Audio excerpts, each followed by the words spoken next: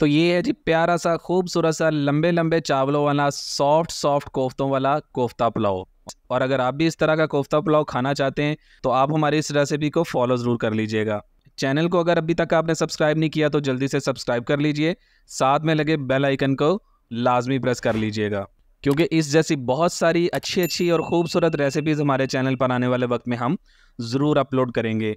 तो चलिए 20 सेकंड का एक छोटा सा चैनल का इंट्रो है, वो देख लीजिए। मिलते हैं आपसे चैनल इंट्रो के बाद।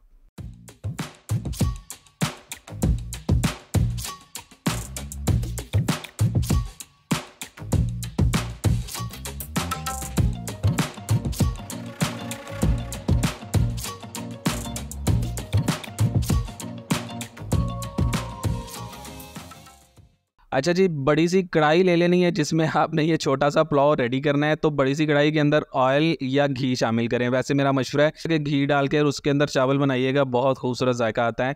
घी शामिल कर लेते हैं इसके अंदर तीन से चार चम्मच और उसके बाद रफली कटा हुआ मीडियम साइज़ का एक छोटा प्याज, वो इसके अंदर शामिल कर देंगे।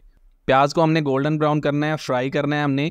बहुत ज़्यादा इसका कलर आपने चेंज नहीं कर लेना, वरना पुलाव का कलर भी चेंज हो जाएगा। और आप कहेंगे कि यार हाफिज़ ने बताया कुछ नहीं। अच्छा जैसे ही प्याज हल्का सा कलर चेंज करने लगेगा तो इसके अंदर कुछ साबुत मसाले आपने शामिल करने हैं। चार से पाँच अदद आपने काली मिर्च शामिल करनी है। एक छोटा सा टुकड़ा इसके अंदर दारचीनी का शामिल करेंगे। छोटी सब्ज़ इलायची, वो अगर आप चाहें तो शामिल कर सकते हैं। उसके बाद तेज़ पत्ते हैं, दो अदद वो इसके अंदर शामिल कर रहे हैं। और आधा चम्मच इसके अंदर हम ज़ीरा शामिल कर रहेंगे ये खड़े मसाले शामिल करने के बाद आपने दोबारा से एक से डेढ़ मिनट के लिए इसको प्याज के साथ फ्राई कर लेना है। अब इसके अंदर हल्का सा पानी का छिड़काव कर रहे हैं ताकि मसाला आपका जले नहीं। इसको अच्छे से मिक्स करने के बाद इसके अंदर एक चम्मच आपने अदरक लहसन का पेस्ट वो इसके अंदर डाल देना है। और उसके बाद अदरक लहसन के पेस्ट के साथ इसको फ्राई करना है एक से डेढ़ मिनट। और उसके फ़ौरन बाद इसके अंदर आपने टमाटर का पेस्ट शामिल कर देना है। अब चाहें तो इसके अंदर टमाटर भी डाल सकते हैं। हमारे पास फ्रीज़ किए हुए टमाटर पड़े थे तो हमने उसको पीस कर पेस्ट बना लिया है। वो इसके अंदर शामिल कर रहे हैं और इसको अच्छे तरीके से हम दोबारा से मिक्स कर लेंगे। इसको मिक्स करते हुए आहिस्ता आहिस्ता से ऑयल अलग होना शुरू हो जाएगा और जैसे ही आपको लगे कि मसालों के साथ ये मिक्स होने के बाद ऑयल अलग होना शुरू हो गया तो चिकन के कोफ्ते इसके अंदर शामिल कर दें। वैसे अगर आप बीफ के कोफ्तों का पुलाव भी बनाना चाहते हैं तो इसकी जगह पर आप बीफ कोफ्ते भी शामिल कर सकते हैं। चिकन कोफ्ता की रेसिपी अगर आपको चाहिए तो मुझे कमेंट सेक्शन में जाकर बताइएगा। हम इनशाला चिकन कोफ्ता कैसे बनते हैं, उसकी रेसिपी जल्दी अपने चैनल पर अपलोड कर देंगे। बहरहाल, चिकन के कोफ्ते इसके अंदर शामिल कर रहे हैं, जिनको हमने 50 परसेंट तक फ्राई कर लिया हुआ था। अब इन मसालों के साथ आपने कोफ्तों को तीन से चार मिनट अच्छी तरह पका लेना है। थोड़ा सा इसके अंदर पानी शामिल करिएगा, ताकि मसाले इसके अंदर अच्छी तरह से मिक्स हो जाएँ।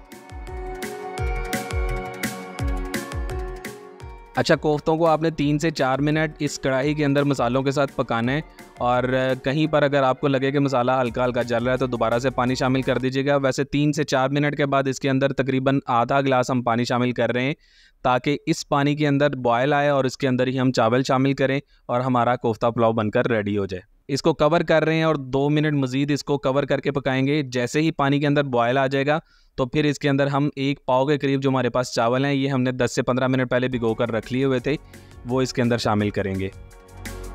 नरम हाथों के साथ आपने इसको चम्मच की मदद से हिला देना है और उसके बाद इसको आपने कवर कर देना है। तीन से चार मिनट में इनशाला ये चिकन कोफ्ता पुलाव आपके सामने बिल्कुल रेडी हो जाएगा। तो जी, तीन से चार मिनट बाद कोफ्ता पुलाव हमारा बिल्कुल रेडी हो चुका है। अब इसको हमने सिर्फ़ तीन से चार मिनट मज़ीद दम लगाना है, क्योंकि दम लगाए बिना बिल्कुल ये खाने के लायक नहीं होगा। हल्का हल्का इसके अंदर पानी, अभी भी आप देख रहे हैं तो ये पानी इंशाल्लाह जैसे ही हम दम लगाएँगे तीन से चार मिनट में तो ये खुश्क हो जाएगा। अच्छा भाई, मैं बताता चलूँ, अगर बर्तन नीचे से बहुत ज़्यादा बारीक है ना तो नीचे एक तवा रख लीजिएगा और उसको पहले हाई फ्लेम पर गर्म कर लीजिएगा एक आध मिनट, जैसे ही तवा गर्म हो जाए तो फ्लेम को आपने बिल्कुल लो कर देना है और तीन से चार मिनट इसको दम लगा देना है। और उसके बाद इसकी फ्लेम को आपने बिल्कुल ऑफ़ कर देना है। मज़ीद आपने पाँच से छः मिनट वेट करना है, फिर आपने दम को खोलना है और उसके बाद सर्व करना है। हम इंशाल्लाह आपको सर्विंग दिखाते हैं। हमारी सर्विंग को देखते देखते चैनल को सब्सक्राइब करना मत भूलिएगा। साथ में लगे बेल आइकन को भी लाजमी प्रेस कर दीजिएगा, क्योंकि इस जैसी बहुत अच्छी अच्छी वीडियोस हम अपने चैनल पर आने वाले वक्त में अपलोड करने वाले हैं। हाफिज़ राशिद को दीजिए इजाज़त। अपना ख्याल रखिएगा अपने इस चैनल का भी। अल्लाह हाफिज़।